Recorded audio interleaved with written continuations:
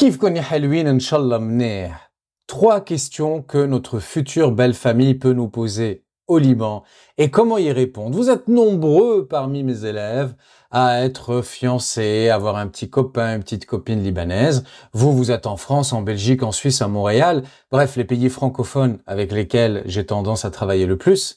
Et vous êtes toujours un peu stressé et c'est tout à fait compréhensible avant de passer cette étape de la première rencontre avec la future belle famille. Parce que c'est toujours bon d'arriver à répondre à ces questions en libanais, même si on n'est pas à l'aise, même si on se débrouille pas très bien, parce que ça permet de marquer quelques points de sympathie. Et puis il y a toujours une petite stratégie derrière les réponses qu'on peut donner. Je vous explique ça tout de suite. Ce qu'on va voir ensemble aujourd'hui, c'est comment est la vie en France? Moi je dis en France parce que je suis en France, mais vous allez adapter par rapport à vous.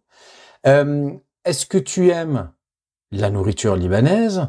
Et enfin, dernière question, Qu'est-ce que tu fais dans la vie? Qu'est-ce que tu travailles? Évidemment, si d'autres questions vous viennent à l'esprit d'ici la fin de la vidéo, je vous invite à foncer dans les commentaires et à me les écrire. Je me ferai un plaisir, si ce format de vidéo vous plaît, d'y répondre dans une prochaine vidéo. كيف الحياة بفرنسا كيف الحياة بسويسرا Canada comment est la vie en France, à Montréal, en Suisse, etc. C'est évidemment une très bonne question pour amorcer la discussion avec vous, mais derrière, c'est peut-être l'occasion pour vous aussi de montrer que vous avez la tête sur les épaules, que vous, vous savez très bien que vous ne vivez pas dans le monde des bisounours, que la vie est difficile et que justement, avec votre future femme, votre futur mari, vous saurez vous épauler pour faire face aux difficultés de la vie. Je vous ai préparé une réponse que je vous note à côté. D'ailleurs, je vais prendre le soin de la lire pour pas partir dans la spontanéité et que ce soit différent. Et je vous explique ça tout de suite après. Je vous propose الحياة بفرنسا حلوة وصعبة بنفس الوقت. حلوة لأن بلد حلو ومتقدم صعبة لأن في كتير غلا وضرايب. بس إيد لحالها ما بتزقف أنا وماري عم نشتغل وحمد لله ماشي حالنا. Ah, vous avez compris, j'ai pris Marie comme prénom. Bon, Marie, c'est ma femme. Donc, c'est, je me suis servi de ce prénom en me mettant dans la peau de quelqu'un qui va voir les parents de Marie au Liban. On décortique ensemble cette réponse. Vous pouvez la reproduire ou vous en inspirer. La vie en France est belle et difficile à la fois. L'hayed bifransa, helwe, belle, ou sa'abe, difficile, binafs en même temps on commence à expliquer pourquoi la vie est belle. Et ça, évidemment, tout le monde s'attend à la réponse que vous allez donner. Donc, la vie est belle, belle parce que le pays est beau. Et met'addam, ça veut dire avancer. Et difficile, sa'abe, la'an fiktir ghala. Il y a beaucoup de cherté, donc cherté de la vie, ou darayib. Darayib, ce sont les impôts. Et là, vous allez me sortir un super proverbe libanais qui marche très très bien dans la vie de tous les jours. C'est Id la hala Une main toute seule n'applaudit pas. C'est un merveilleux proverbe pour dire justement que dans la vie, il faut qu'on soit, deux épaules, quoi. Quatre épaules pour être précis. L'homme, la femme, le couple, d'une manière générale. Donc on dira Id la hala une main seule n'applaudit pas, ça sous-entend que chacun va mettre la main à la pâte pour faire face aux difficultés de la vie, et on va l'exprimer en disant Anna Omari, Amneshterel, moi et Marie, nous travaillons. Petit remerciement à la libanaise, Hamdallah, ou Hamdallah, on peut dire Nishkur Allah, Kater Khair Allah, Meshel Hal. Meshel Hal, vous savez, ça veut dire ça va, ça roule. Deuxième question un peu plus légère. Quand on va s'adresser à un homme, les beaux-parents vont lui dire à une femme, on va lui dire Est-ce que tu aimes la nourriture, la gastronomie libanaise? Et là, je vous propose de répondre en toute sincérité, soit en mettant en avant votre connaissance de la culture et le fait que vous aimez beaucoup la, la gastronomie libanaise, et là vous allez pouvoir vous faire plaisir avec tous les plats que vous avez goûtés, soit c'est l'occasion de montrer qu'on s'y intéresse si vous ne la connaissez vraiment pas. Et vous pourriez risquer d'avoir une bonne surprise. Je vous explique. Donc, vous pouvez répondre si vous connaissez la cuisine libanaise. Akid, bien sûr. Fi y a-t-il meilleur que la nourriture libanaise? Fi atyab mnel Et là, on commence à enchaîner en disant j'aime beaucoup que vous soyez homme ou femme, ça se conjugue de la, même manière. Et vous enchaînez derrière les plats que vous aimez.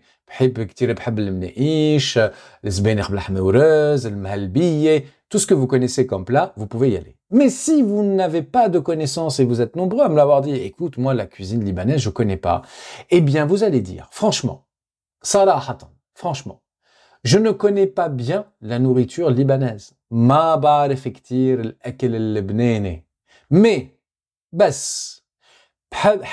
alors si vous êtes un homme, vous direz hebeb. Si vous êtes une femme, vous direz hebbe. Ça veut dire j'ai envie, ça me plairait bien. De goûter, dou. Hebeb dou, hebe dou. Et là, ça peut être extrêmement amusant parce que si vous répondez ça, vous avez 9 chances sur 10 que votre future belle famille se retourne contre leur fille ou leur, euh, ou leur garçon en leur disant, en le faisant des reproches, hein, qui fait keptamul, qui fait keptamli, pourquoi tu as fait ça, pourquoi tu l'as laissé sans goûter les plats libanais, ya Buchoum, honte à toi, ça peut être très drôle. Et en même temps, en même temps, futur beau papa, future belle maman vont se faire un plaisir le jour même, si vous êtes invité à déjeuner ou à dîner, ou plus tard, de vous couvrir des meilleurs mets libanais pour que vous puissiez vous faire une idée un peu de la gastronomie, notamment les plats qu'on cuisine à la maison. Troisième question, incontournable, terre à terre, on n'y peut rien, c'est comme ça, c'est qu'est-ce que tu travailles? Si vous êtes un homme, on va vous dire Si vous êtes une femme, on va vous dire et là, je vais vous aider pour les réponses. Je vais vous donner d'abord ici un aperçu général de ce qu'on répond, et derrière, pour vos professions spécifiques, n'hésitez pas à me les donner dans les commentaires et je vous aiderai avec grand plaisir. Alors, d'une manière générale, pour les professions les plus courantes, les plus connues, on va directement donner son titre. Par exemple, je suis médecin, Anna Hakim, ou bien Hakime pour une femme. Euh, je suis ingénieur, architecte, Anna Mhendes pour un homme, Anna Mhense pour une femme. Je suis avocat, Anna Mohamed, je suis avocate, Anna Mohamiyeh. Sinon, l'autre possibilité de répondre, c'est je travaille dans ceci en tant que cela. C'est une structure que mes élèves aiment bien. Donc, par exemple, je travaille à la banque, Bishterel Bank, en tant que K, KA. Bishterel Bank, K, ceci, cela. Et si c'est le cas, vous n'hésitez pas à me dire ce que vous, ce que vous êtes. Si vous êtes directeur, vous direz par exemple Bishterel Bank, Kamoudir. Maintenant, si vous voulez travailler dans une entreprise, vous pouvez dire par exemple, je donne vraiment un exemple, je travaille dans une entreprise de voitures, dans une société de voitures, K en tant que, et là ce que vous voulez, euh, vendeur, directeur, assistant, dites-moi ce que, vous êtes dans les commentaires et je me ferai un plaisir de vous aider. Je travaille dans, un hôpital en tant qu'infirmière, je travaille dans un laboratoire en tant que chercheur, euh, je travaille dans une société de plomberie, ce que vous voulez, n'hésitez pas à me le dire et je vous écrirai la traduction, je vous répondrai avec grand plaisir. N'hésitez pas à commenter, à liker, à partager cette vidéo et toutes les autres, car ce n'est que comme ça que YouTube poussera ces vidéos vers des personnes qui ne les regardent pas généralement. Pas vous, mes chers fidèles, bien sûr, qui êtes là toutes les semaines. Et d'ailleurs, si vous n'êtes pas encore abonné, allez-y, cliquez sur le bouton d'abonnement. C'est le meilleur moyen de me montrer votre soutien.